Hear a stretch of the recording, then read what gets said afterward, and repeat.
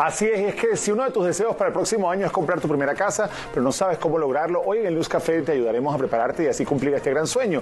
Y para esto me acompaña la gente de Bienes Raíces, Marta Manela. Bienvenida, Marta, qué chévere tenerte con nosotros. Feliz de estar aquí de nuevo con ustedes. Me encanta recibirte y sobre todo en esta época donde hace uno tantos planes para el próximo año, empiezan las resoluciones y esto de comprar casa siempre está en la lista de la persona que nunca ha podido comprar su hogar, ¿no?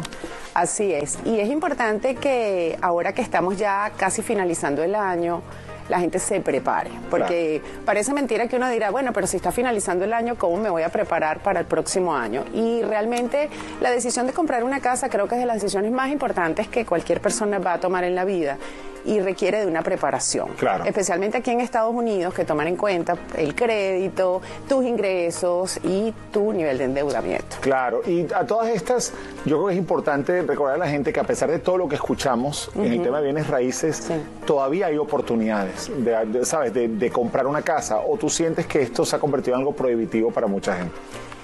Mira, eh, o sea, tengo que ser realista. Sí, sí creo que el mercado ha cambiado y mucha gente local que vivía aquí en Miami se ha tenido que desplazar pues más al norte o más al sur por el tema de los precios, porque han subido las rentas, han subido el costo de las propiedades también para compra pero sí creo que hay, el gobierno está ofreciendo ayudas y yo creo que es importante pues tomar en cuenta esas ayudas. Claro. Que donde hay que calificar. Vamos a hablar, vamos a hablar en un momentito de eso, pero una de las primeras cosas que tú recomiendas es organizando finanzas y la declaración de impuestos. ¿Por qué es importante organizar la declaración de impuestos? Porque ahí es donde el banco, eso es uno de los documentos más importantes que el banco te va a pedir, donde él va a ver realmente cuál es tu ingreso anual, realmente si tú tienes dinero para poder pagar una hipoteca mensual. Entonces, es importante que la persona que ahora que viene la declaración de impuestos, el income tax, la persona se asesore con un buen contador certificado y además con su prestamista. La unión de esas dos personas va a hacer que tú tengas una buena declaración, que tú logres, claro, le tienes que expresar que quieres comprar una casa para que ellos te ayuden a hacer la mejor declaración, porque eso es uno de los, de los documentos más importantes. Excelente. Ahora, tú dices que a pesar de que por un lado pueden aumentar las tasas de interés y pueden seguir subiendo, también se mantienen las ayudas. ¿Estas ayudas de quiénes vienen? Estas ayudas vienen del gobierno. Eh, y, lo que, y las ayudas lo que están tratando y el objetivo es lograr que todas estas personas que no han podido comprar casa por primera vez lo hagan. Ellos quieren aumentar estos primeros compradores, sobre todo estas personas que vienen pues de ingresos más bajos y de ingresos medios. Entonces, estos son ayudas que, se que las presta el gobierno.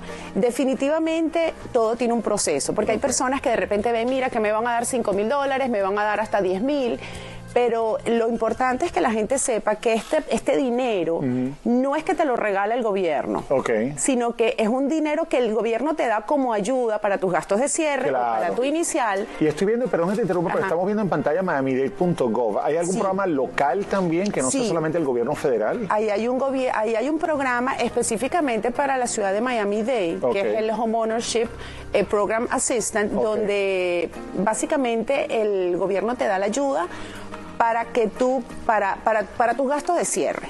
Y más o menos te lo voy a decir rapidito porque sé que el tiempo en televisión es muy rápido. Eh, tienes que, es el núcleo familiar el que tiene que calificar.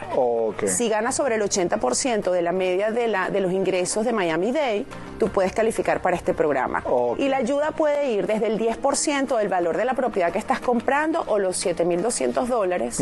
O si estás por encima de ese 80% de ingresos, va a ser menos, va a ser un 4% y 4.200 dólares. Y la otra página que estamos viendo allí es la del HUD, que es el Departamento de, digamos, de Desarrollo Urbano de los Estados Unidos, ¿no? sí. Lo importante, en, en, estas páginas vas a encontrar todos los requisitos. De hecho, nosotros dentro del grupo de Santana tenemos ya personas que han aplicado estos programas. Y realmente uno, otro de los requisitos, Alberto, que es importante que la gente sepa, que después que tú sometes tus documentos, todos los requisitos que te piden, ellos te piden que tienes que hacer un curso. Que es un curso eh, que llaman ellos Home Buyer eh, Benefits, donde tú vas a aprender cuáles son los beneficios de estas ayudas y cómo debes tú mantener esta ayuda, porque por ejemplo, si te otorgan 10 mil dólares para tus gastos de cierre o inicial, no es que los vas a tener, no es un regalo. No te los van a cobrar, no te va, no vas a tener intereses ni te lo ni va a ser algo que te lo van a quitar, a menos que tú vivas en esa propiedad durante los 10 primeros años. Excelente. Me quedan unos segundos y hay una pregunta que la gente tiene y la gente siempre anda diciendo, ¿de verdad debo buscarme un asesor de bienes raíces? ¿Eso no me terminará costando más dinero? ¿Y cuál es tu respuesta a eso? Definitivamente importantísimo buscar un asesor de bienes raíces porque esa persona es la que te va a ayudar y te va a guiar en todos estos pasos, te va a conectar con este y te va a ayudar incluso a hacer... ¿Y tiene un precio por encima? Eh, no, no. La asesoría de la gente de bienes raíces es completamente gratuita. Excelente. Esa es la parte más importante, que sepan que vale la pena hablar con un experto como nuestra querida amiga Marta. Gracias por estar con nosotros. Buenísima información. Y estamos poniendo la dirección de Instagram para que de esa manera pueda enviarte cualquier pregunta. Marta Manela, gracias por estar acá. y nosotros, por supuesto, te invitamos a que te conectes con ella a través de las redes sociales para cualquier pregunta que tengas. Ahora Cristian Latina responde con sus cartas a una mujer que está muy preocupada porque dice que a su hijo ha cambiado mucho y no sabe qué le está pasando.